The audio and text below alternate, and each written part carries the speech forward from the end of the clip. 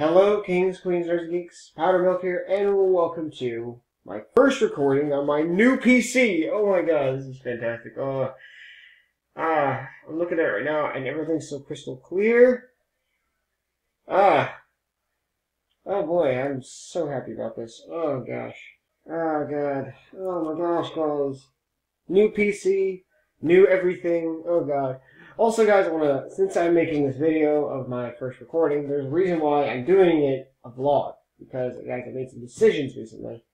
And, guys, uh, recently I have decided to actually, be, uh, in the past, guys, I've said, and, and several times, I don't think I've said it on camera, that I never wanted to be a sergeant. But, I've recently made a decision, I've made up my mind, and I've decided that I want to become a non-commissioned officer a sergeant. I decided I want to strive for that. I'm now currently doing my best to gain all the knowledge I can. I'm hoping my sergeant helps me gain some leadership experience and all that, guys. So, and all that. Ah, God, I really want this. I want this. Like, uh, just recently, a few days ago, I memorized the whole non-commissioned officer, the creed of non-commissioned officers. Um, the, or the NCO creed. Um, in the army know what I'm talking about. Um, anyway, now that I finally have this computer and all that, it's gonna make. Um, now that I finally have this computer and everything, it's gonna make things content a lot easier to do. I can do more advanced games and everything, and I can do things a lot better. I won't have much lag problems now. Everything's gonna be so much better. And second of all, guys, um, next week or the after next week, I will be going to a field. I told you this before. oh, I'm going to a field, and I'll be gone for an entire month. And I do a, and I apologize if I can't bring any content for you guys. And during that time, it's because I don't, I, I don't think I'll even have contact with my wife during that time. It's gonna be really tough for me, and I, when I get back, I may not post for a few days may not. But then when I do post, I'll be back. I'll be there for you guys. I'll be doing things just for you guys. I, um, yeah, a lot of things have happened. So, uh, yeah. Anyway, also, guys, I want to ask for some uh, little support on the sergeant thing. Um, me being an NCO is gonna be tough, and I I hope that I can get as much support from you guys from all over the world to help me strive to be a great leader. Because I want to be a leader. I want, I want it. I want it. I want to be able to teach other, other soldiers, other subordinates, all my subordinates in the future. I want to teach them to be great eight soldiers. I want to teach them to be great. I want to be great like my sergeants were like I remember at basic training, um, if she ever watches this video, uh, Drill Sergeant Corbett. Um, she uh, once told me one time it was my night of fire guard, and she was leaving to go home, and I stood there. Parade rest. Hold on, I'm to stand up just to demonstrate. I was standing at parade rest and holding my rifle like this, and I was waiting for to be briefed on my duties during my fire guard shift. And she t- walked up to me, stared at me right in the face, crossed her arms, and she looked at me, asked me my age, and I told her I was 19. I remember her whispering, so young. And then she said, You know, I think you're going to be a great, great, great soldier one day. I remember that now. Because the other day, Boz was giving me a lecture. And Boz, yes, is now considered my my leader. As much as he's my best friend, he's also my leader. And I have to treat him as such. One time he was giving me a lecture, he was in my house, giving me a lecture about it. And I sat and I thought about it for a minute. I thought, you know what? Maybe I should do this. Right? I, I no, not that I should, but I want to.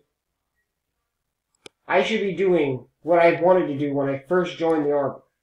And I was letting all this negativity in the army make me change my views about it.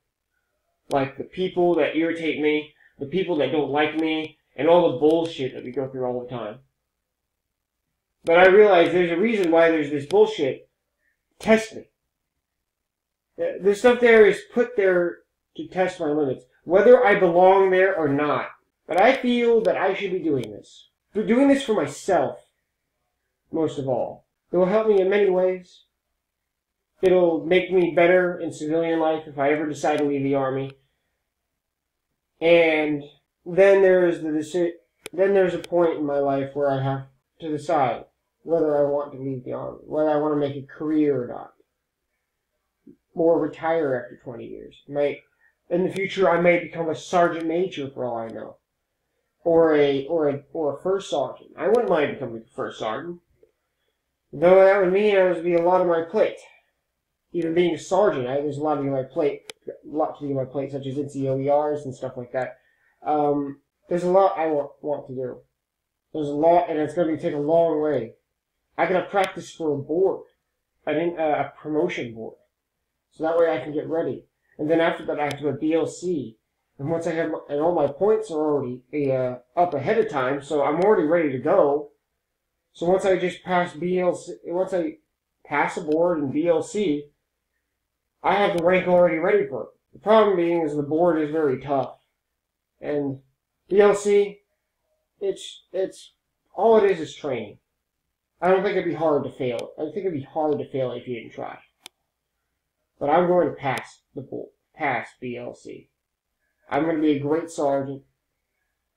I I will be a great sergeant. Although there's going to be a lot of jokes down the road about me being Sergeant Carter. If any of you get that reference, no, but yeah, I'm not talking about Full Metal Jacket. Different thing. It's, the show was literally called uh, uh, Private Pyle. Well, either way, I'm going to need your guys' help and support to vote the way.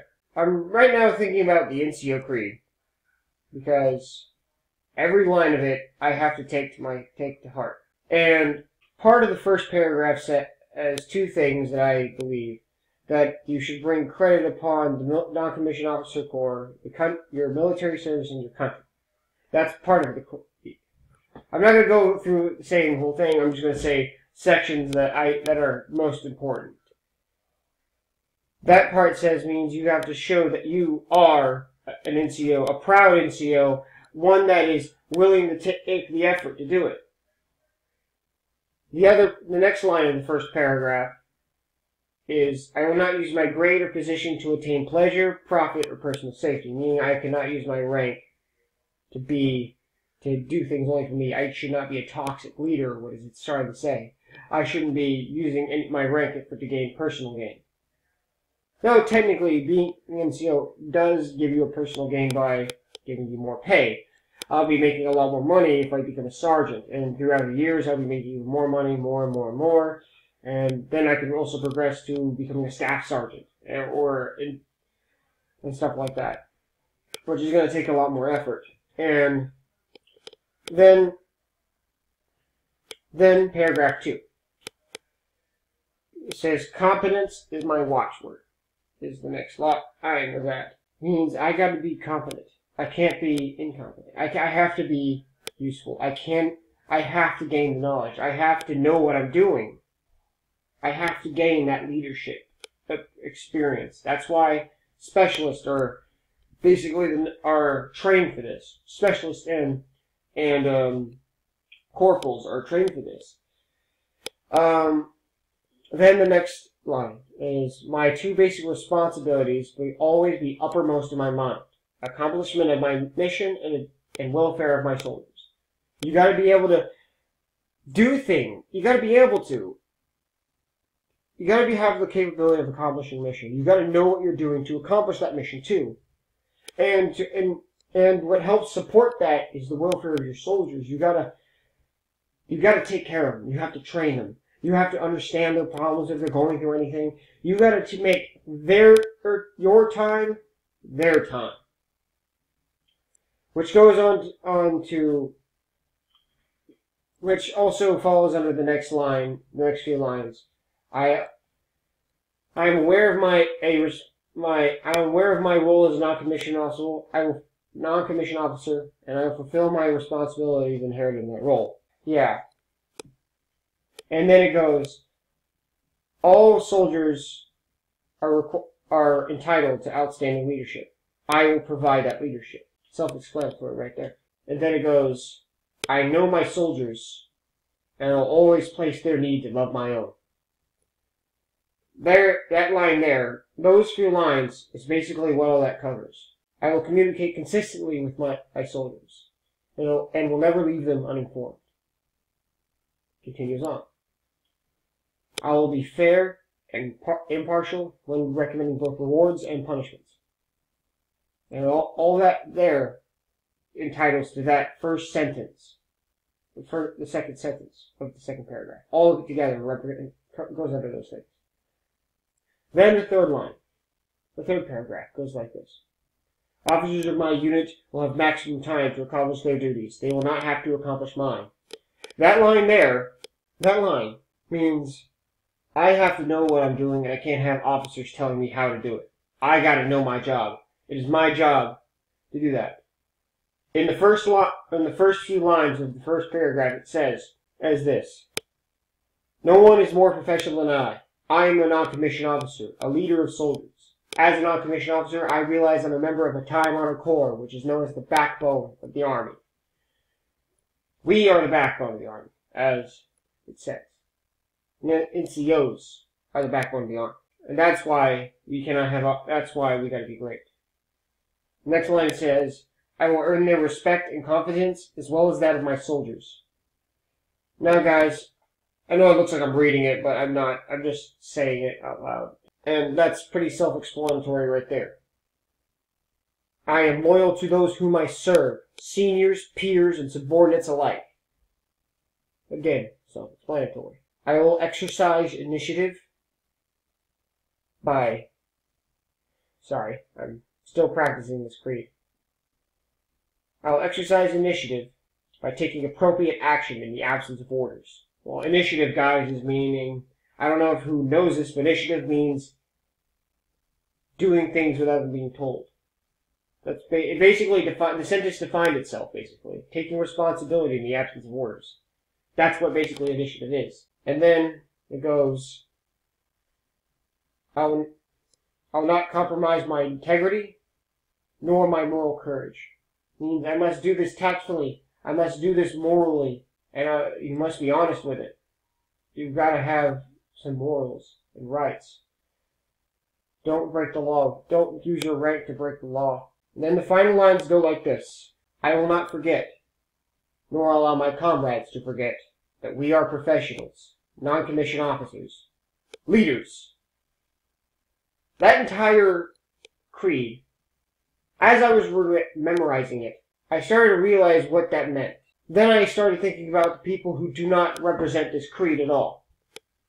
I've met NCOs who go who goes against several lines of these creeds, and I thought I should be better than them. I shall be a great NCO. I shall follow this creed to the core. And that's what I know. I'm rambling on. It's been going on. This this recording has been going on for like 15 minutes of me rambling about being an NCO. But the reason being is, guys, is I'm really passionate about this. And guys, I hope you guys support me along the way. Well, anyway, guys, I'll catch you guys later. And stay nerdy, my friends. Bye-bye!